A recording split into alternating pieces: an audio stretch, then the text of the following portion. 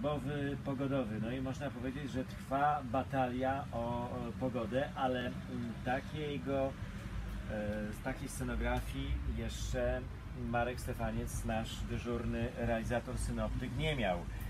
Rozłożone mapy sztabowe e, na e, stole, przymocowane menażką, maską gazową, obok żołnierz, mm, jeden i drugi z bronią. Marek też z bronią. No i co?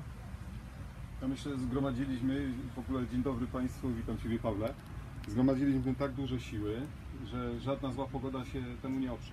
I będzie tylko, co, będzie tylko coraz lepiej. No ale ten czerwo, ta czerwona e, kreska z takimi e, trójkątami wygląda to jak grzbiet smoka. Y, Smoka, który lubi pić wodę, prawda? I te, tej wody było wczoraj pod dostatkiem. Ale tak naprawdę to jest to front atmosferyczny, który jeszcze wczoraj nad Polską y, był i rozdzielał powietrze, y, takie gorące powietrze, które płynęło, o to jest ciekawostka, aż z krajów Bliskiego Wschodu, czyli Izrael, y, prawda, Syria. I to powietrze pokonało ogromną odległość, aż właśnie z tych krajów Bliskiego Wschodu poprzez Rosję i ono dotarło tutaj do Polski i zetknęło się z powietrzem polarnomorskim y, z zachodu Polski. I stąd wczoraj mieliśmy potężne ulewy, y, deszcze duże. Powiem tylko tyle, że najnowsze dane mówią o tym, że w Tatrach spadło 200 litrów wody. Świętokrzyskie y, województwo takie zjawiska ominęło i tutaj mieliśmy spore opady deszczu, ale jak widziałem dane, z, z, które mówią o tym, ile tej wody spadło, jaki jest stan rzek, to my mamy y, utrzymujące się stany niskie i stany średnie, także żadna powódź nam nie grozi. Na szczęście, jeszcze. Miejmy nadzieję, że tak się to utrzyma. Tak się to utrzyma i ja y, zazwyczaj jak przyjeżdżam tutaj do Pawła na te wyjazdowe programy wakacyjne, y, przynoszę dobre wieści, tak jest tym razem. Czyli po południu tych opadów będzie coraz mniej. Jutro jeszcze przed południem niewielkie opady mogą się zdarzyć, natomiast po południu coraz więcej przyjaźni, coraz więcej y, słońca. Tak będzie jutro. Temperatura 23-24 stopnie Celsjusza, w nocy około 15, wiatr z północnego zachodu. Bardzo dobrą informację, bardzo, y, bardzo dobrą pogodę mam dla Państwa w sobotę. W sobotę mnóstwo słońca w całym województwie świętokrzyskim, ale nie tylko, bo i w całej Polsce. Wiatr słaby i umiarkowany w porywach do 30 km na godzinę, wiejący y, z północnego zachodu, ale ciepły. Dlaczego ciepły?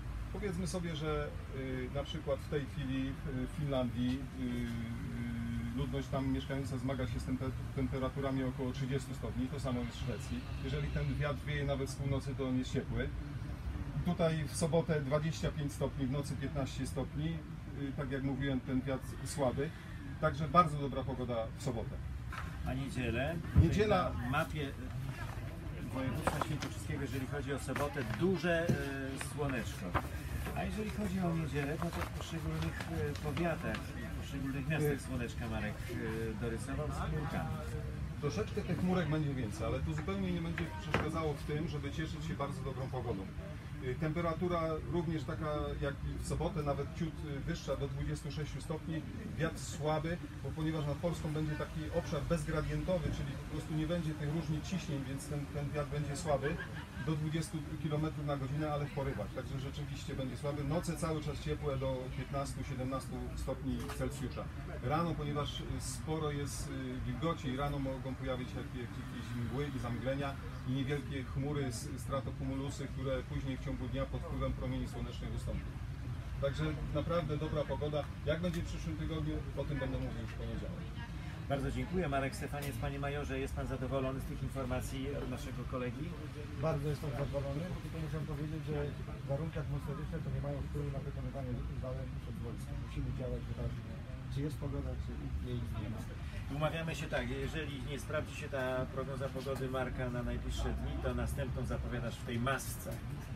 Y, W masce, czy nie w masce, ale naprawdę. Bardzo dziękujemy. Stacja wakacje, proszę Państwa, z Ostrowieckiego Rynku. Zapraszamy Państwa serdecznie. No, spójrzmy, chyba przestało padać, przynajmniej przez moment. Tak, bo e, mieszkańcy Ostrowca złożyli parasole. Mam nadzieję, że ta pogoda już Jak ja to wrzucę na profil, do zakończenia naszego programu. to bardziej, nie?